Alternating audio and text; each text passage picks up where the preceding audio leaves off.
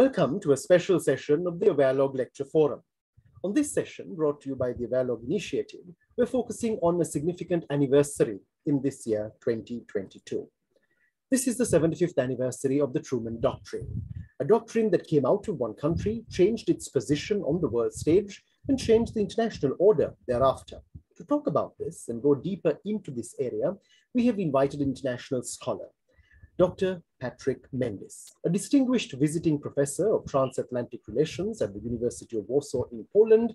He is a former American commissioner of the US National Commission for UNESCO at the Department of State and a military professor in NATO, as well as the Indo-Pacific commands of the Department of Defense. Previously, Professor Mendis served as a Taiwan Fellow of the Ministry of Foreign Affairs in Taipei and a distinguished visiting professor of Sino-American relations at the Yenching Academy of Peking University in China. He has lectured at the Leningrad State University, Moscow State University of the former Soviet Union, and Professor Mendis has traveled to and worked in more than 130 countries over a very illustrious career. We're indeed honored to have him. He's also listed on Who's Who in the World, and he's a fellow of the World Academy of Arts and Sciences. Born right here in Sri Lanka, he's an American diplomat, an alumnus of the Harvard University, the University of Minnesota, and the University of Sri Jayewardenepura. Professor Mendis, we're indeed honored to have you with us and would like to invite you to share your thoughts to elucidate the whole point of President Biden's new Truman Doctrine in Ukraine and if you were to ask the question, what's past is prologue? Thank you very much, George, uh, for inviting me. It is a very great honor to participate in your very important uh, uh, series of interviews that you have conducted in the past. And you also have a very illustrious career in the Ministry of Foreign Affairs in Sri Lanka and later on in the Bandaranaike Center, where I had the privilege to give series of lectures in the past. So thank you for inviting me again. So uh, as you asked me, I prepared few notes uh, over here to talk about uh, Truman Doctrine, um, uh, where how it came about and how it is evolving. And you, we try to understand whether this uh, Truman Doctrine has any relevance to the current uh, events in world affairs, especially related to the uh, Russian invasion of Ukraine. And I am speaking from the University of Warsaw in Poland and uh, a great privilege to participate in your uh, uh, series of lectures, um, uh, George. I really appreciate it. Thank you very much. So on March 12, 1947, Harry S. Truman, our president after Franklin D. Roosevelt passed away, after World War II, uh, Harry S. Truman, president, gave a joint lecture to the US Congress on this date, March 12, 1947. There he said very important uh, speech that formulated into what the Truman Doctrine is, is considered to be his foreign policy. That, it seems to me, has been continuing until the uh, Cold War ended and even today. So in his lecture, uh, in his speech to the US Congress, he said, every nation must choose between alternative way of life. He pointed out two major issues or major points. He said the, the world of majority of people and the guarantees of the individual liberty. This is the one point. So America or the majority of the world's people must guarantee the individual liberty. And the second part he said was uh, the power relies on the terror and oppression, which means uh, control in the media, newspapers and radio at that time, and fixing elections. That means, uh, for example, extending the uh, the tenure of the leaders or changing the constitution to their personal advantage and so forth.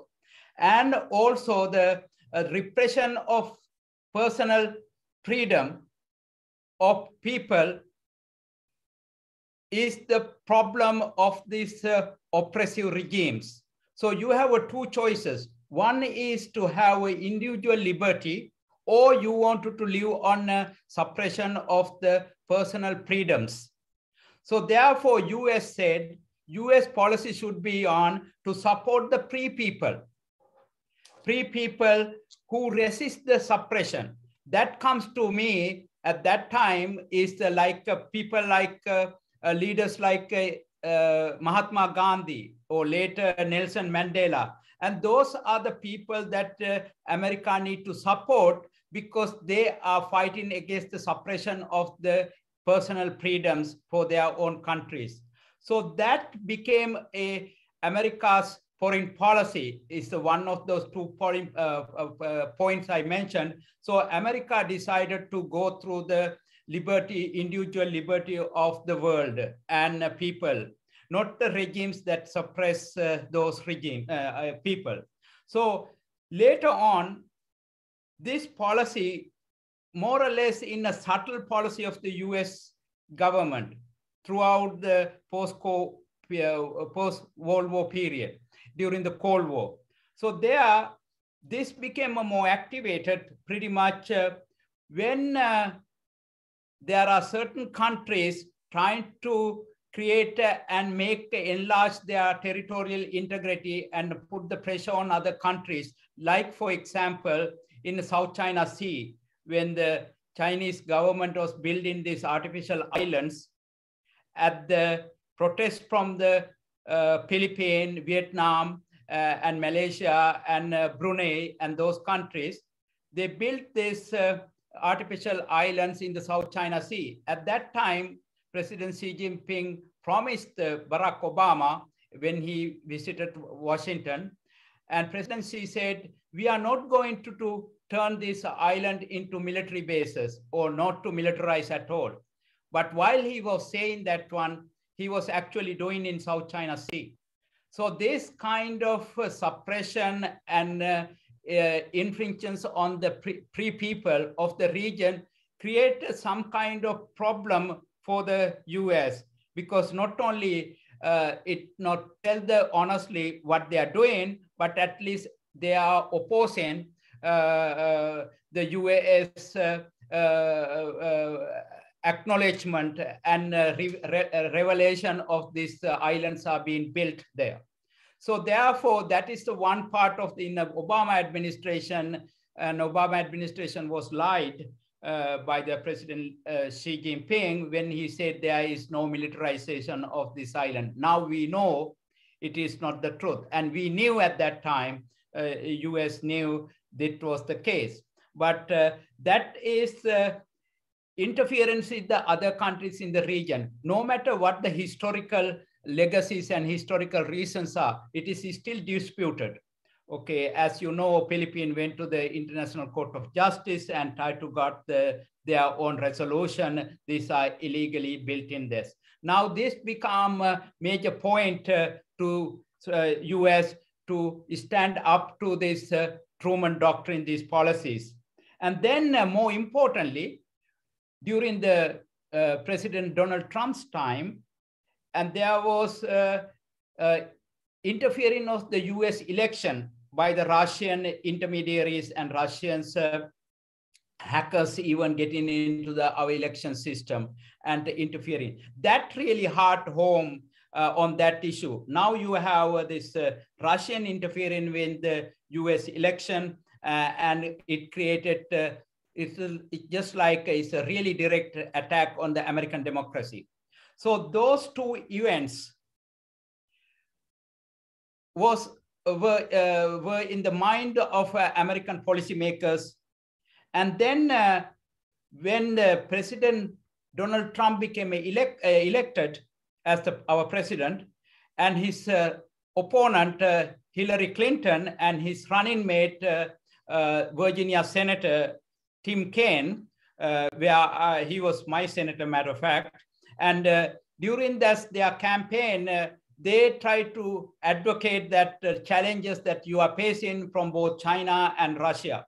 Then when he, they lost the election and Senator uh, Tim Kaine returned to his uh, previous job as the US Senator in the Senate, and he was also the leading member of the Senate Foreign Relations Committee. Then he authored an article in Foreign Affairs Journal in 2017.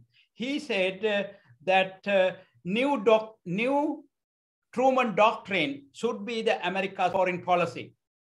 That was, he said, is a year after uh, President uh, Donald Trump was elected. In his uh, article, in Foreign Affairs article, I read it again and uh, try to understand what is the key points. And he said, US uh, must support the non-state actors.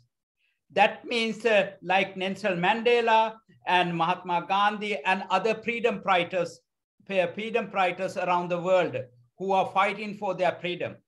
And that means it's uh, similar to the Truman Doctrine. He's going after to supporting the freedom uh, of those people around the world. And the second point is very important equally, which is he said, uh, responsible, responsibility to protect. That means R2P, responsibility to protect. That means the US should intervene in uh, some kind of domestic affairs and genocide going on in some countries, US has the obligation to join and stop that kind of genocide uh, by the regimes. Just like, uh, for example, what is happening in current in Eritrea uh, and also in, uh, in Myanmar, for example, and even in the Sudan. So the responsibility to protect is the America's responsibility. So therefore, pretty much is the new Truman Doctrine in his article, he argued this must be the US foreign policy. It's the renewal of the Truman Doctrine. So this idea came to be much of the result of what happened in the US in the Obama administration and also now continuing in the, after continuing into the four years of a Trump administration, uh, President Trump's administration. So one is focused on China, another one is also Russia. So now here we have this uh, President Joe Biden in his inaugural address uh, last year, and he said, uh, we lead not by the example of power, but by the power of the example. So that means America first need to find its democratic values that it was kind of destroyed during the uh, Trump administration. In Trump administration, he uh, disregard the democratic values and he is more aligned with the autocrats uh, like North Korean leader and Turkish uh, and others. And also he undermined the, the US uh, alliances uh, around the world, like in Japan and South Korea and he undermined not only that uh, in the Western Europe uh, NATO NATO uh, alliances. He undermined. He need. He said America first. First, we don't need to, to have these alliances. So that uh, undermining is kind of causation for President uh, Joe Biden to come up and say we need to, to uh, lead the world by example. So this idea of continuation of uh, America supporting for the freedom around the world and also the liberty for those countries that their uh, human rights were violated. So America has obligation to, to uh, uh, bring these people into the uh, uh, more freedom, uh, kind of political freedom in their own countries. This was has been advocated by President um, Biden when he also uh, and his administration is trying to highlight the issues in uh, in the Hong Kong and also the Uyghur population in Xinjiang in China and elsewhere as well. So this idea of 1940s and 1950s, uh, two Eurasian, uh, Eurasian countries, which is uh, Russia and China, uh, are pretty much against the values of the United States even though at that time President Truman never used the word communism in his speech. He never used the word communism, but he is taking about uh, oppression to their own people. But he was very careful not to say that one. So therefore, also when President uh, uh, Biden, who is talking about supporting the Ukrainian uh, uh, government and their armed forces through not direct engagement, but indirectly through NATO forces and supporting the uh, Ukrainian military, he was very careful not to antagonize the Russian leader Vladimir Putin. When uh, Uh, uh, uh, President Volodymyr Zelensky of Ukraine asked for the no-fly zone when the Russian bombs uh, uh, bombardment in uh, eastern Donbass province and the near Crimea and into the north and to forces coming toward the invading forces coming toward the Kiev. So he, US did not want to, in collaboration with the NATO, uh, want, don't want to have a no-fly zone. And also at the same time, United States government and the European leaders are fully aware of the, the agreement that signed by the Russians and the um, Chinese leaders just at the uh, uh, uh, Winter Olympic, opening of the Winter Olympic. In that agreement, China is pretty much is the one who drafted this uh, more than 5,000 words documents. In that documents, it never mentioned about uh, Ukraine or invasion of Ukraine, nothing about it. But it does talk about uh, uh, uh, Russian support for the Taiwan. So you can see there is a kind of strategy going on. They wanted to create it, uh, uh, their form of democracy. Democracy mean centralism, democratic centralism. So now US view this one as a challenge. And at the same time, the challenge is this the two Eurasian giants coming together and they are as opposing these issues of uh, uh, freedom in their own countries and uh, you know censorship of their media and uh, uh, putting people in opposition leaders are in jail and then extending their also the tenure as president and changing the constitutions to their own personal uh, uh, pres uh, political preservation and so forth. So that created a problem for the US and then uh, this is undermining uh, pretty much of the Truman Doctrine.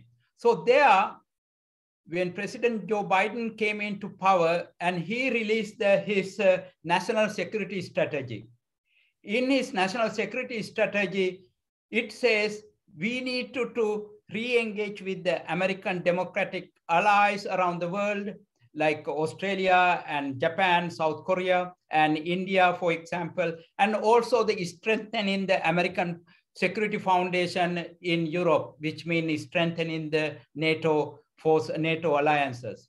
So that at the same document, in the national security docu strategy document, in its interim report, it says identified China as the uh, strategic competitor to the US. So this is a pretty much focus on China, identifying China as a strategic competitor.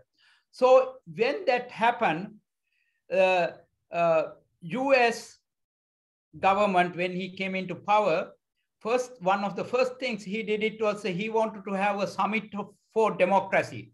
These are the one of the campaign promises that he wanted to bring back the rejuvenate the rejuvenate the idea of uh, democracy, not only the US, but around the world, because during the Trump administration, uh, it turned a different direction. So therefore, he had this uh, summit for democracy and then also wanted to upgrade the NATO alliances and its relationship with the Atlantic partners, and also promoting the Indo-Pacific Quad between uh, uh, among India, Japan, and Australia. Uh, and then uh, interesting part came, it was a kind of surprise to the diplomatic community around the world, which uh, was the AUKUS uh, agreement where that uh, United States uh, signed this uh, nuclear submarine agreement with Australia, United Kingdom, and the United States. As that also had uh, issues with uh, uh, the, the France because France still wanted to have this agreement with the uh, Australian, but it was kind of bypassed and went with this uh, Anglo-Saxon community of Australian and uh, UK and the US. So this action was threatening to the Chinese leadership because now you can see this is the different formation of a different incarnation of the Truman doctrine is coming to the forefront of the American foreign policy. And then uh, this whole thing, the Ukraine war, the, um, uh, and the premise of that war was also, I think, is hidden in this uh, uh, uh Chinese and Russian agreement which they talk about uh, the never talk about Ukraine, but they are underlining Uh, um, issue is to you can create uh, America's focus going onto the Ukraine in the eastern flank of the NATO forces, NATO command. And then uh, once there's the diver diversion coming into that region, then China thought America and the West boggled down with the Ukraine China can also achieve their own national interest, the unification of uh, Taiwan into the mainland China, People's Republic of uh, uh, China. So that strategy pretty much uh, on hold right now, uh, if I may say so. But there is a one thing happened. The thing is that the 30 years of Cold War between the East and the West is pretty much over, which started with the collapse of the Soviet Union and it's after Gorbachev's, Mikhail Gorbachev time. So end of colonial, end of Soviet Union is also agonizing uh, and painful experience for President Putin. So he wanted to have uh, one thing which also coincide with the, uh, the national goal, national objective of China. China is China wants to rejuvenate the, their own Chinese culture. They wanted to have all glory, which they had it prior to the uh, the uh, hundred years of uh, humiliation by the West or the colonial powers, and they wanted to bring back this uh, uh, uh, Middle Kingdom back into the forefront of international affairs in a, as a global global power. Uh, global uh, uh, power. At the same time, President Putin wants to, have imperial Russia, which is going before the uh, 1917 October Revolution by the Bolshevik. So he wants to, to bring this is the all glory that they, they lost uh, during the collapse of the Soviet Union. And also the President Xi Jinping wants to have the rejuvenation of the Chinese culture. So these two things happen. One is the humiliated uh, empire wanted to be the Middle Kingdom and rejuvenate their own culture. They have a strategy, long-term strategy. And the, also the wounded empire, which is Russia, after the collapse of Soviet Union, wanted to bring back the all imperial glory to its uh, uh, of world affairs. So these two are happening now because 75 years ago, when you said uh, at the very beginning, the Truman Doctrine was introduced, that was the end of the one era of the First World War uh, come and went, and the Second World came and uh, with the tragically end. And there are victors of the uh, um, uh, World War II who later happened to be the five veto members of the UN Security Council. So at that time, John Kennan, our acting ambassador in uh, Moscow, he wrote this is a very important document called Long Telegram, which later became famous as the X article in Foreign Affairs. He recognized after World War II, Leonid Brezhnev uh, Stalin uh, wants to, to create, uh, uh, uh, expand of the communism and their influence around the world. So there are two things happen. One is in John Kennan's article, he talks about that Russia, Soviet Union that time wanted to send support the communist forces in Greece. At the same time, Soviet Union wants to, to have uh, joined Turkey in order to secure their oil uh, transport uh, into Crimea and to the Soviet uh, Union through the Black Sea. It has to go through the Turkey. So he wants to, to have uh, this uh, joint agreement with the Turkey and Russia also wanted to support these communist forces in uh, um, in Greece. So these two events led the John Kennan to write this article. There is a Iron Curtain is coming down.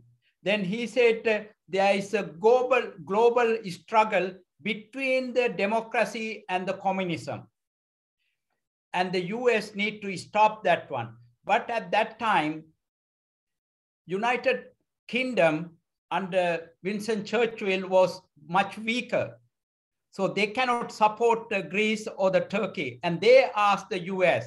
And for example, that uh, uh, uh, Prime Minister Churchill went to the US and he made that famous uh, uh, speech in Missouri, Fulton, Missouri, and he talks about the Iron Curtain coming down. So US need to do something about it.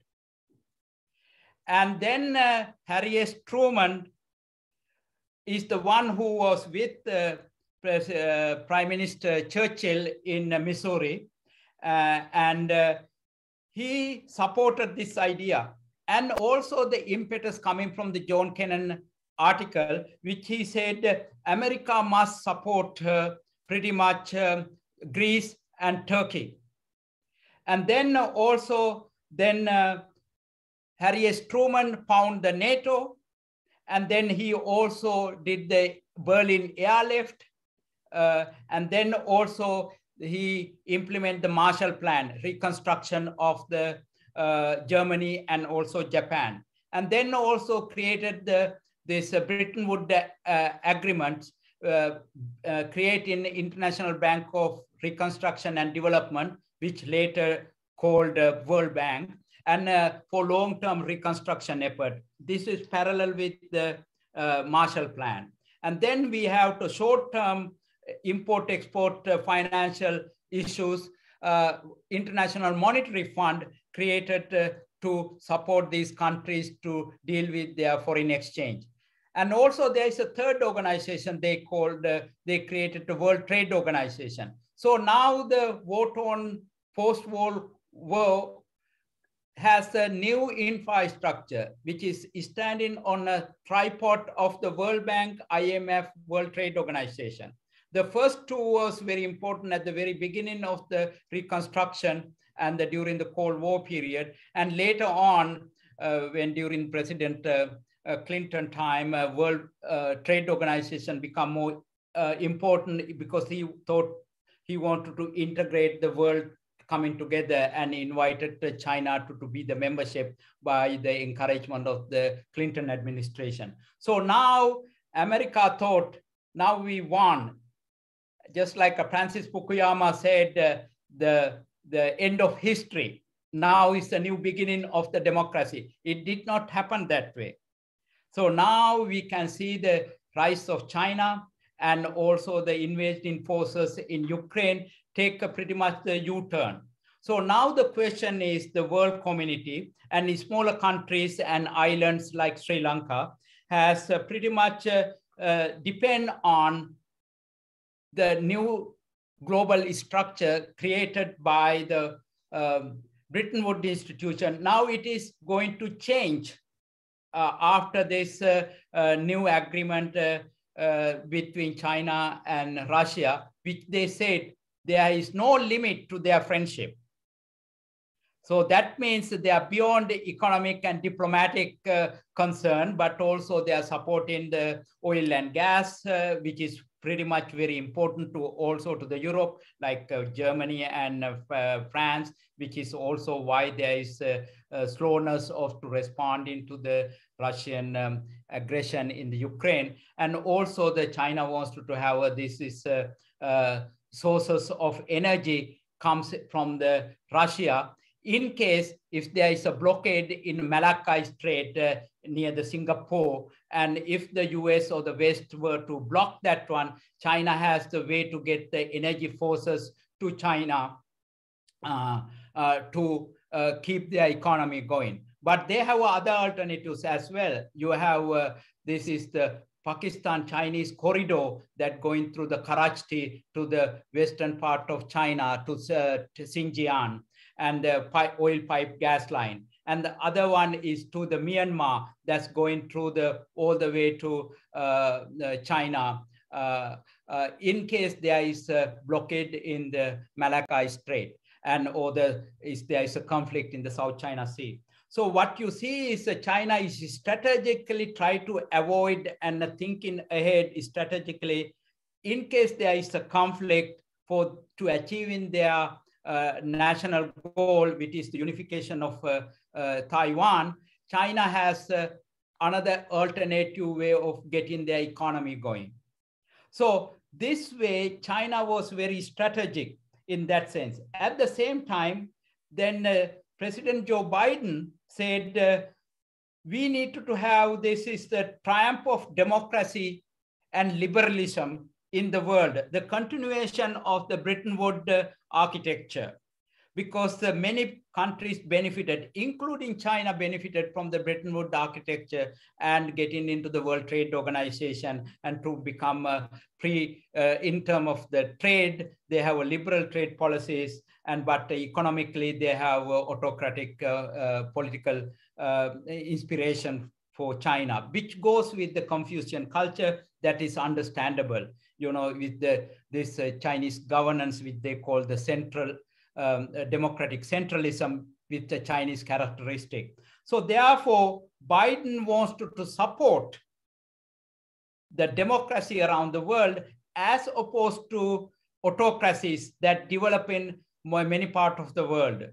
So therefore, Biden administration, Biden White House is uh, pretty much confronting the and highlighting the human rights violation in the Xinjiang and uh, bringing criticism about uh, Chinese engagement in Hong Kong and also the support in Taiwan and uh, also the Ukraine uh, human rights uh, and the democratic values and also the enforcing this uh, unprecedented economic sanction that we have ever seen in human history or uh, that uh, United uh, States-led Western alliances against the stopping this uh, economic and financial transaction against the uh, Russian institution, especially the Russian central bank. So what you see is the this is the reformulation and the reincarnation of the Truman Doctrine that is uh, pretty much uh, in coming into the forefront of the world affairs. So in essence, now what we say is the question is the world community. Do we want to, live in uh, personal freedom that you can express your ideas, you not get into jail or you disappeared in the world? And your journalist and the newspaper people and anchors are disappeared because they criticize their own government. So you wanted to live in that kind of censorship, their personal freedom are limited and uh, pretty much uh, removed. And a small group of people, like uh, in Russia, we call oligarch, and even other countries, there are a small group of people controlling their regime for personal interest. They don't have a national strategies. They only think they are thinking about their own personal enrichment and the political power uh, and their own, their own pres uh, family preservation. So this kind of world, are uh, we wanted to live in that kind of world at the expense of ordinary people. You do not give the rights for those people and then they are pretty much some countries are pretty much selling off their countries to other countries and they are very wealthy and they have uh, secret bank accounts uh, just like oligarch had and even not uh, russia but other countries as well you probably know there are certain regimes uh, there are countries leaders are not their own nationals uh, but they kind of uh, falsifies their and also misinformation driven very savvy uh, media campaign uh, got elected into certain position, but their interests are not national interests. Now you can see the economic turmoil in certain countries. And uh, you, uh, do you want to live in that kind of country? Or do you want to have uh, people have the rights to change their leaders in a fixed election? Do you want to have uh, leaders decide their destiny, not the few parliamentarians changing their constitution. So this is the kind of world that America wants to have. What you've seen is when President Xi Jinping extended his life uh, presidency and also President Putin, and they have changed their constitution. And other countries emulate in this one. This is auto autocratic autocracy in their own regime because they have a model.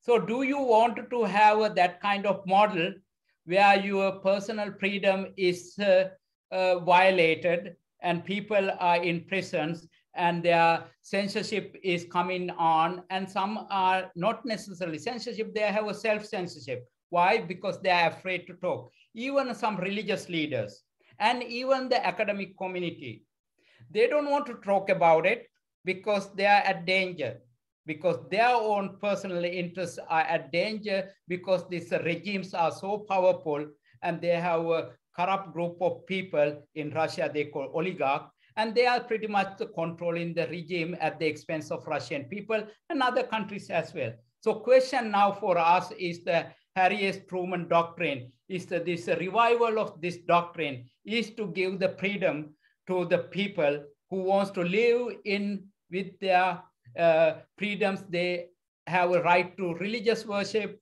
and to express their ideas and assembly, and also to their freedom to change their governments and their leaders in more peaceful way.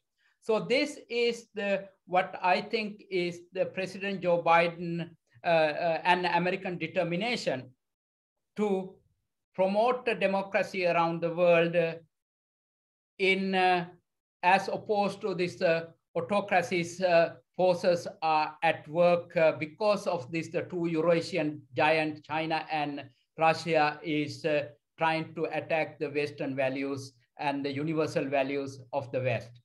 So this is essentially nutshells of the President Joe Biden uh, uh, new Truman Doctrine.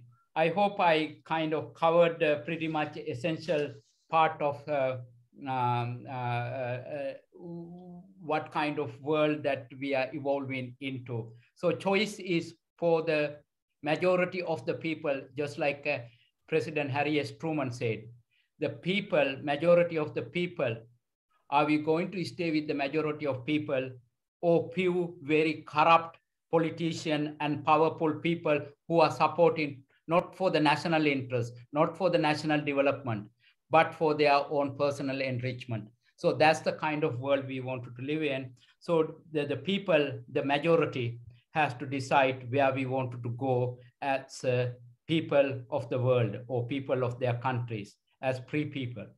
Thank you very much, George. I hope that uh, uh, um, answer your very broad uh, question about uh, 75 years later uh, what do you think about Harry, uh, Truman's doctrine? I hope this is very helpful. Absolutely. Thank you. Thank you so much, Professor, because you really uh, fleshed out so much that has been taking place over the 75 year period when you reflected upon what happened, how momentous that decision was taken 75 years ago, and how we see relevance of it today. If I were to just ask you, uh, we obviously understand that the Truman Doctrine really altered America's position in the world uh, in retrospect, would we argue, would we say that this was for the better? America has sometimes gone into conflicts, they've withdrawn, they've taken a step back. Uh, when we reflect upon the doctrine, would America have been better off without this doctrine? Whilst might, some might argue that? Would it have been better to remain isolationist? Uh, excellent question. Excellent question. This also goes back to uh, the uh, 1776 when America was founded by the uh, enlightened uh, founding fathers uh, who wants to do this country to be global nation. And anybody from anywhere can come and this is a kind of promised land for them. It is a global nation. It's the first time that, that we created a nation other countries and civilization evolved. This new nation wanted to have a freedom. That is why we got rid of the our mother country of the United Kingdom because of the colonial past. America was a colony, just like Sri Lanka was or India was. And uh, America fought this revolutionary war and got rid of the British, the red coats. And then uh, they said, uh, we need to have a freedom we don't want to have uh, this is colonial powers. Then later on, that uh, um, develop another kind of doctrine, which is pretty much like the the, the Truman doctrine, which is we call the Monroe doctrine. That means the colonial powers of the West should not come into the Western hemisphere, which means to North America or the South America. Whenever it come, we consider is the act of war. Uh, and uh, President Monroe James Monroe uh, formulated that uh, uh, doctrine. So what you can see is that the very beginning of the country, America wants to be a global nation. And not only that one, there's a very important things happen during that formative years of the United States as an infant nation, infant country. So when we kicked out the British and the colonial powers, America sent our first commercial ships to China from uh, on George Washington's birthday in uh, uh, 1794, I think. It's called the Empress of China. It sent on George Washington birthday uh, from the New York Harbor to Canton. It's modern day of Guangzhou near, near Hong Kong. So it sent the message that America's mission in the world is a commercial mission. And it was elaborated by President George Washington. He said, uh, entangle with none. And also our first Secretary of State, uh, George uh, Thomas Jefferson said, entangle with none and friendship with all. So pretty much uh, we use the trade as a vehicle to have this uh, commercial relationship.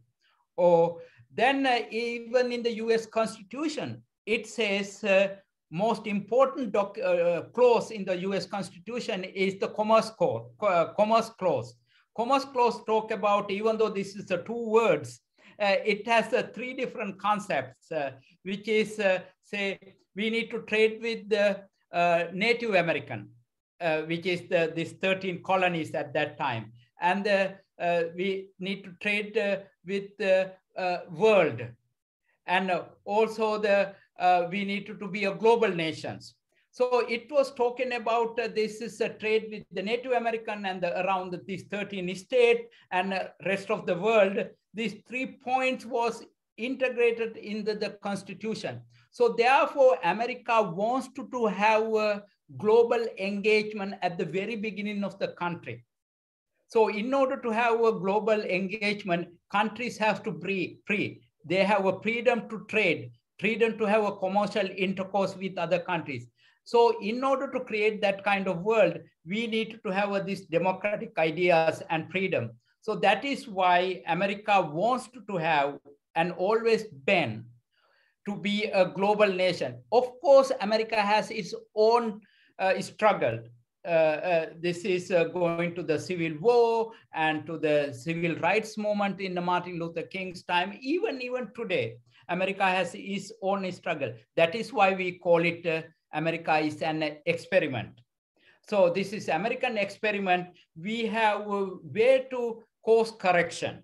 If we have a problems, every four years, people have a, a freedom to elect a new people. This kind of mechanism provide the continuity of the aspiration of the majority of people. At the while we are respecting the minority rights and the majority rules.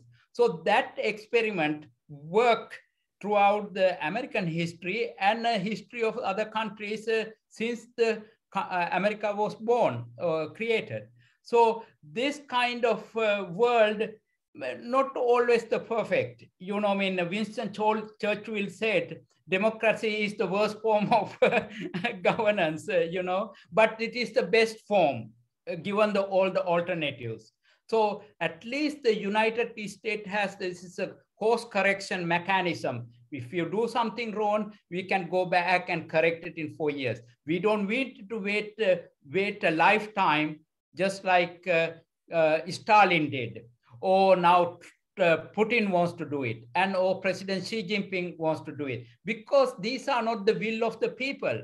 They don't have a corrective mechanism. So the, the even um, uh, some other countries, they wanted to have a change the constitution and then they can uh, elect the even a non-national into their government uh, and to give in a very important portfolios uh, to for their own personal enrichment. You can see, uh, you don't need to go far away. You can see inside in a nearby Indian Ocean uh, rim countries, uh, you see this kind of things are happening. So therefore, to answer your question, George, is American wanted to have this tendency to be isolationist. You can see that one in the President Donald Trump's time. Now is the recorrection, recourse took place with the President Joe Biden and America is into now the founding vision. That's the founding mission is he's carrying on what America meant to Americans and America meant to the world. So therefore, in my view, America is in the uh, course correction and the right path uh, to achieve America's uh, vision for the world as founding fathers envisioned. Professor, if I were to just ask you, when you look at US foreign policy having been within the mechanism, within the system, and if you reflect upon the last seven and a half decades, would you say that there has been a great degree of consistency or radical change over time? Well, there are uh, not radical change, but uh, their tactical operations was misfired. For example, uh, looks about, uh, look at uh, America's engagement in foreign wars, uh, going to uh, Panama or even to the Vietnam or Afghanistan or Iraq. Let's take the key points in American history in the recent past, Vietnam War. Vietnam War is also the reflection of this expansion of the communism that uh, uh, the North Vietnamese were supported by the Chinese government, the, the uh, Chairman Mao Zedong, and also the uh, Russian leaders uh, uh, that time, Stalin. So America has a engagement, I mean, a mission to stop that kind of uh, communism spreading into the Asia. So that was the engagement in the Vietnam, which, uh, which was a failure.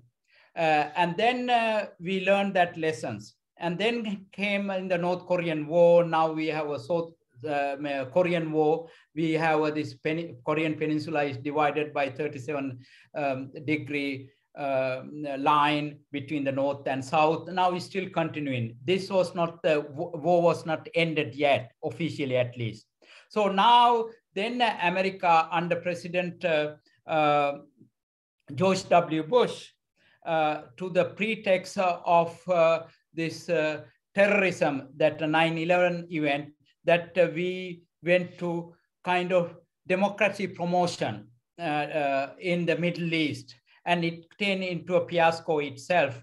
And uh, then uh, Iraq war and Afghanistan. There is a legitimate reason for going to the Afghanistan. That's where the Al Qaeda was hiding. But going to Iraq was the war of choice which I think it was a mistake. And there are also, we can analyze uh, what was the causation, motivation for the US to do that one.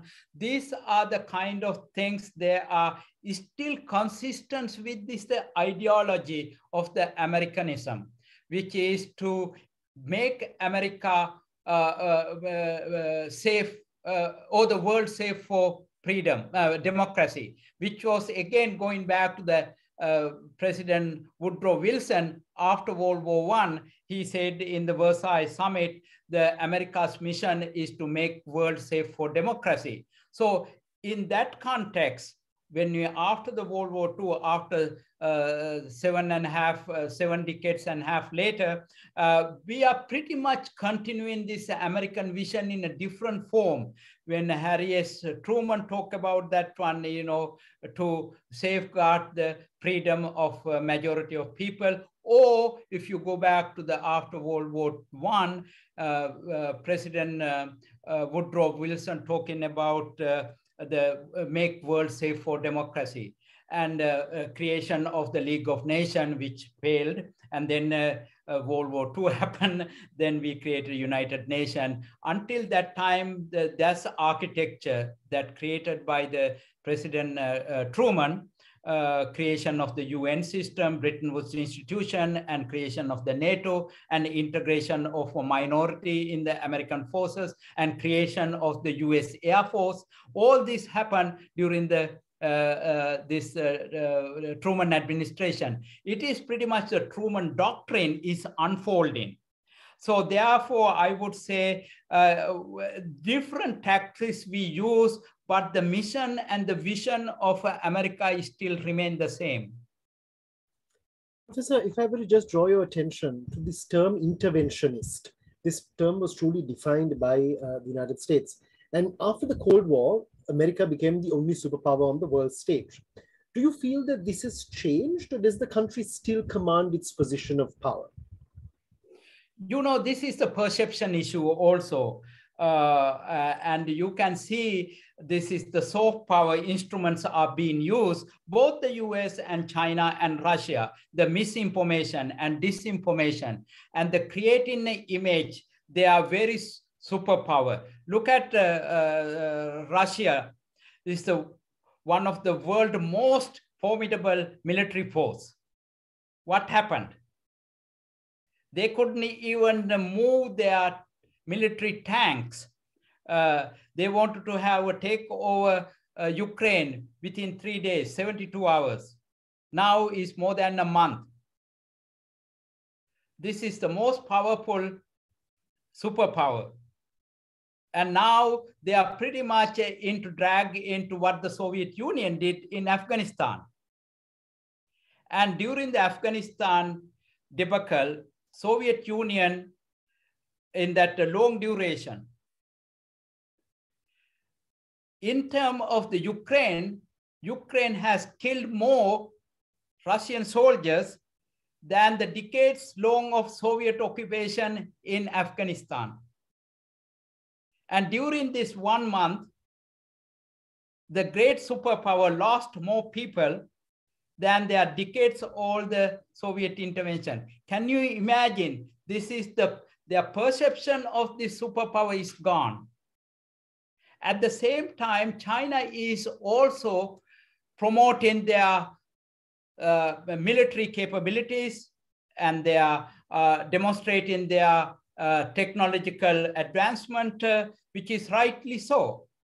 Okay, at the war is going on in the eastern uh, flank of NATO right now, China is also showing their military might and technological advancement and uh, sending uh, uh, aircraft and satellite to the space uh, and to the uh, uh, space explorations and military engagement and building of new aircraft carriers, third one, after the first one in Liaoning and the second one, Shandong.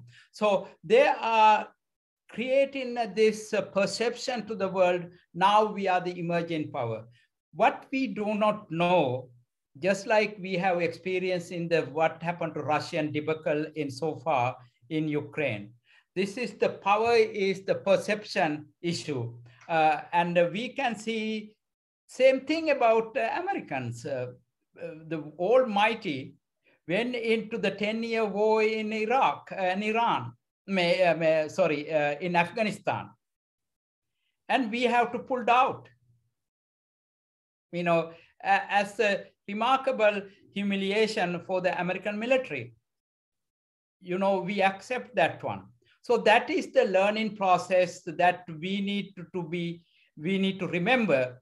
If now China is trying to portray they are the superpower, they have the military know-how, they have uh, advanced uh, navy, advanced air force, uh, and their technological know-how is going to space and cyber security. All these element is their soft power to create a world that in their own image but we do not know the weaknesses of the Russian, Chinese system itself and the uh, repression of their own people and censorship. And this can, uh, can change. So this is why that it is important for us to realize uh, the perception of power is, is the kind of propaganda machine, is, uh, is what countries do okay, look at it, the small countries, and they think, oh yes, we don't have a foreign currency exchange problems. We are fine. We have a, a organic fertilizer. We can do it all, everything in uh, domestically, for example, in Sri Lanka. And we don't need uh, uh, West.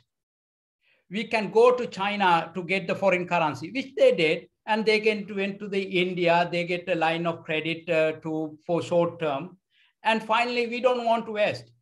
In fact, these leaders never understood was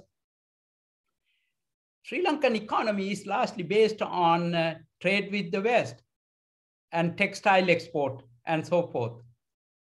We don't export tea to China. China doesn't need tea. We don't need to export uh, tea or rubber or coconut to India. No, our trade is there, but the leaders create this perception. We are organic, self-sufficient, we can do it ourselves. But the saddest commentary was, even Sri Lanka went to Bangladesh to ask for money. Even they said, we don't want to go to the IMF. Now they are going to even to Bangladesh. Can you believe that one? The pride is the reality is now hitting to the, the perception that they are creating. They have the brain power and the economic power and the political power inside the country. They create a certain kind of perception. That's what all countries do. I'm not blaming about one country or the other. That's what everybody does. This is a natural tendency uh, of the countries. So now the reality we need to, to ask is, this given the experience of Soviet uh, Russia in Ukraine or the American debacle in Afghanistan? Is this the perception of their power? Is this a true power? So that is the question one needed to ask. And somebody has to tell these leaders, look, this is not the reality. The reality is something else because uh, we often hesitate to learn from the history, even though it repeats itself in a different format, different incarnation. We tend to refuse to um, accept that reality because uh, our ego is larger than the reality. Uh, so that is the, uh, the perception problem I think we need to be careful about whether it is the superpower or, or, the economic power or the political power, even in small countries, there are certain regime thinking they are the greatest for that country ever had, and there is no other leaders replace them. Of course, world continues. You know, there are great people in the graveyards, but still world continues. Am I right? Absolutely. This is where if we don't learn from history, history repeats itself. And we also sometimes take it to understand that people are indispensable and they've got to be there for a long time. When you look at yes. all American presidents, Professor, from uh, Truman onwards, uh, who would you say was most passionate about this doctrine, um, probably other than Truman himself?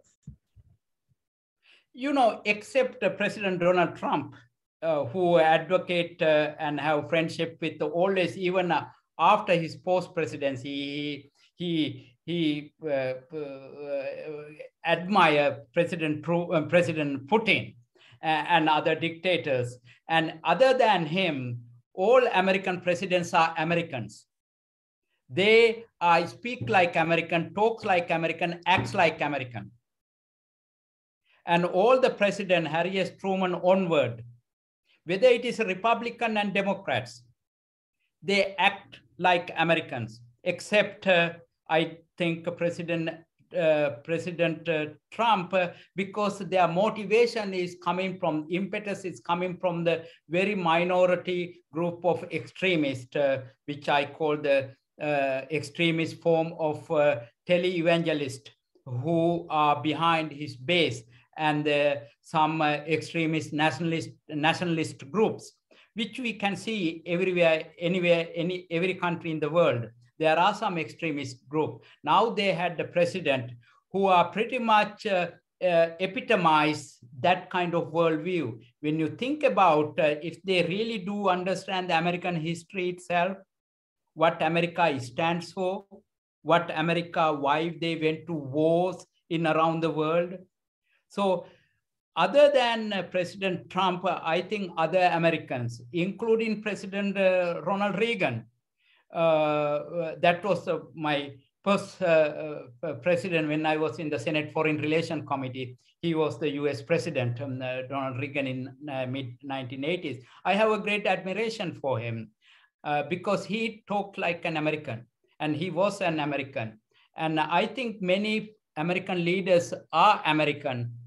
And uh, that is uh, what we think is the, our system. Recorrections comes in to create uh, what America is meant to be and following its founding mission and the vision for the world.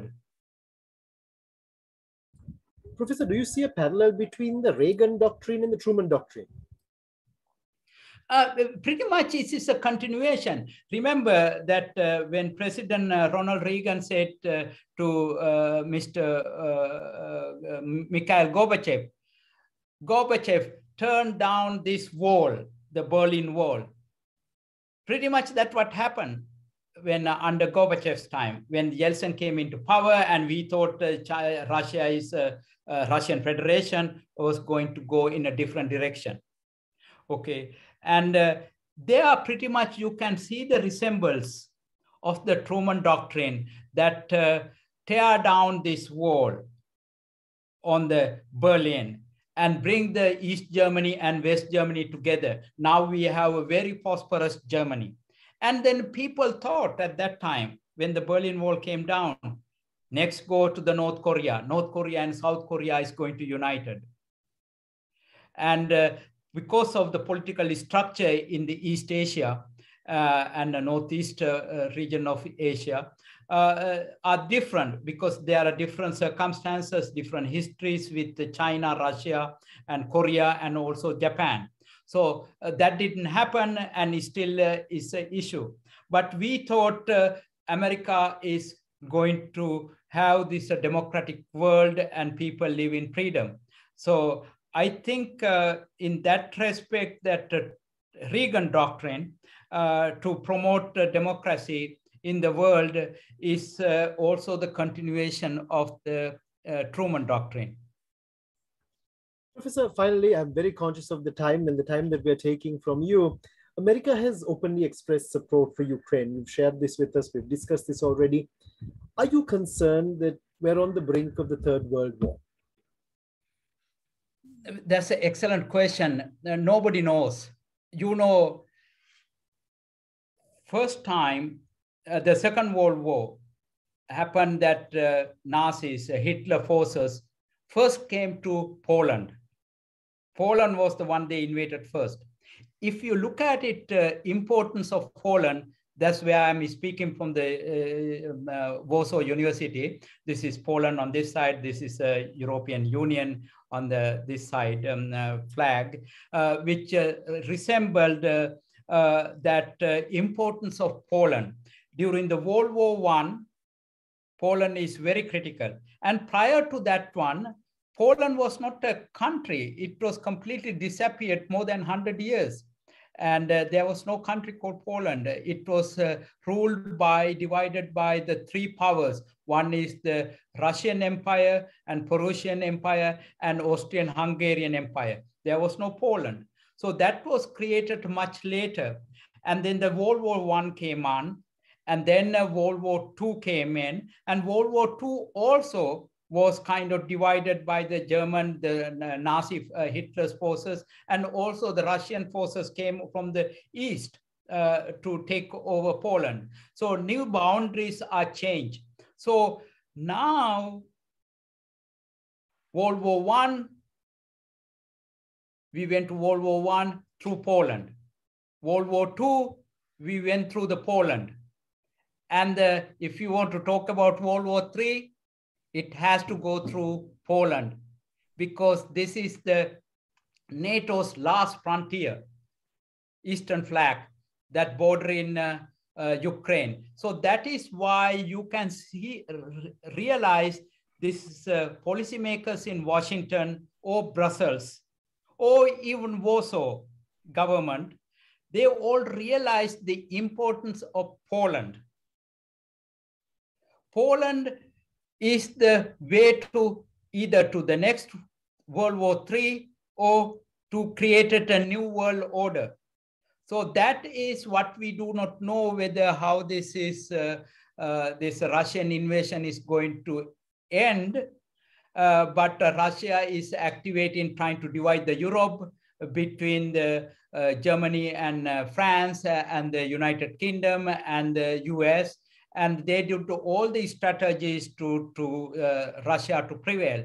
And also Poland has to be reminded itself because Poland didn't have a so-called country. That emerged in the World War One and two and World War Three. Will might decide whether Poland is the next after Ukraine or Baltic countries, uh, Estonia, Latvia, and Lithuania, these three former Soviet republics are the next. So what we can see is uh, uh, uh, the how united the Western democracies or the NATO is also the determining factor whether we are going to, to have World War III.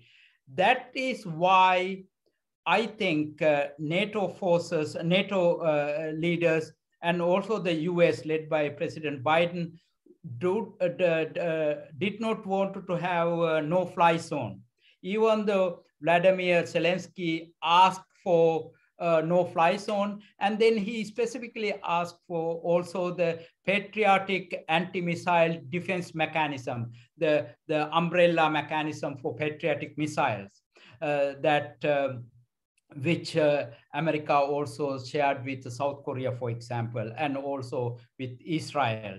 So uh, we do not want to, for the American side, uh, do not want to escalate it into a no-fly zone or the patriotic missile system employed uh, for, that was a direct attack on, uh, on uh, Russia and Russian warplanes. If you want to have a no-fly zone in the NATO uh, forces have to enforce that one. That's a direct engagement. So I can see the same as that uh, Harry S. Truman, President Truman um, uh, was very careful not to use the word communism at that time and uh, avoid this uh, direct engagement with the Soviet Union under Stalin. And we had supported Greece and supported Turkey and is still continuing. Is still continuing. We provide the military aid to those two countries, to NATO forces. They are NATO countries, both Greece and uh, Turkey. So what we can see is the Third World War that you are asking. I think uh, policymakers and military planners are acutely aware of uh, what happened on the World War One, World War Two, and that is why President Joe Biden came this weekend, past weekend, to Warsaw and give that uh, eloquent and I think excellent, very powerful speech uh, why we need to support Ukraine and defend uh, uh Poland unless we have that kind of direct, uh, what he called the sac uh, uh, very secret, sacred uh, commitment that US has for the NATO in order to protect uh, Poland, because we know Poland was a critical uh, country in this uh, in this fight against autocracy versus democracy. So I think, given the history of where Poland play a critical role in the World War One and World War Two. And if there is a World War Three, Poland is going to be the centerpiece of that uh, uh, conflict. So I think we all realize it, that one. That is why President Biden came after his trilo trilogy meeting uh, between with the NATO forces and G7 meeting leaders and uh, also the uh, EU leaders in Brussels. And then his direct was uh, to Warsaw. And then he visited NATO bases in southeast of Warsaw, very close to the Ukrainian border. And you can signify it is also sending a hidden message to the world who are very much aware of the World War history and World, uh, World War One history and World War Two history. So I think uh, President Biden is one of the most experienced uh, foreign policy president because he was the chairman of the Senate Foreign Relations Committee. I remember uh, seeing him uh, in 1980s even when Senator Richard Lugar was the chairman. And at that time onward, and he has this accumulated uh, experience and wisdom and he is fully aware of the World War One and Two and the importance of Poland to to preserving the American ideas and American vision of democracy and freedom for the world. We can only hope, as you said, Professor, that we are not we are not on the brink. We are not going over the edge. And one of the very wisest things that President Biden has done in the entirety of his presidency is not to allow the no-fly zone. He has not gone ahead and sanctioned that. That's a very, very wise move. He's thinking, and actually, he's contributing towards global thinking there it's something that the world does not want to see. We are so technologically advanced with nuclear weapons, push up a button, we will all go. It won't be a case of eliminating your enemy. It will be eliminating humanity as we know it. And these are yes. decisions uh, that they are taking today, which will have a huge impact on the world, how we will progress. So absolutely. At the same time, you have to remember Ukrainian military process cannot survive this long without the support of the American uh, military uh, support and also the intelligence support and the cybersecurity support uh, for the military uh, uh, to the Ukrainian forces and also the support that coming from the Poland and look at the refugee issue that now the Poland has very close to over two, 2 million refugees. Last night I was visiting with Ukrainian students Uh, uh, in uh, in Warsaw, uh, walking with them and showing about the history of Warsaw, walking with on the main corridor that President Joe Biden traveled this weekend. So I can see this is a, remarkable young people uh, are witnessing the another transformation and the change in the world.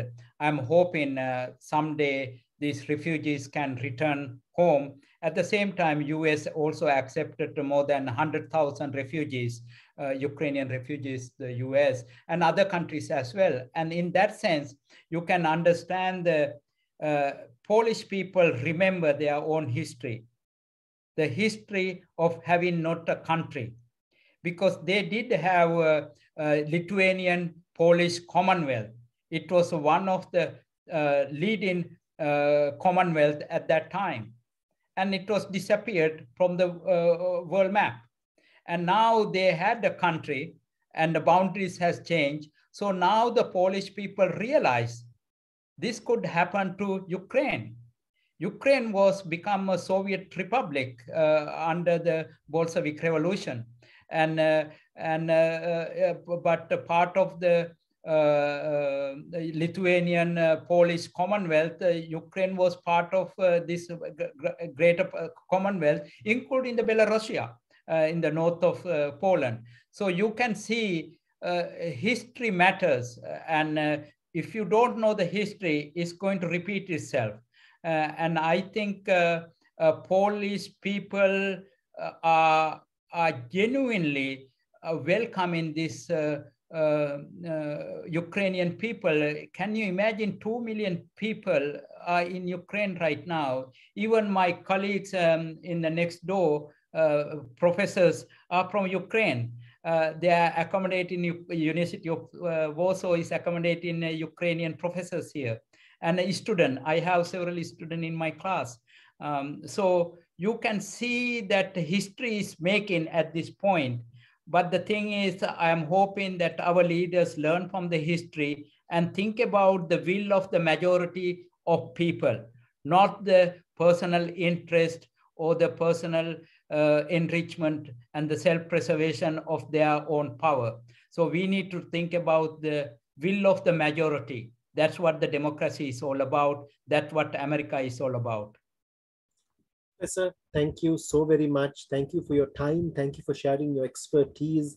You've traveled around the world. You've written over 150 publications, books, co-authored articles, edited, uh, and it's been it's been an amazing conversation. We haven't even felt the time go by where you really gave us a very good overview. Uh, when we stand here in 2020 and 2022 and look back at the 75th anniversary of the Truman Doctrine, what it meant to America at that time, what it meant to the world, what it meant to international relations as a subject in its entirety.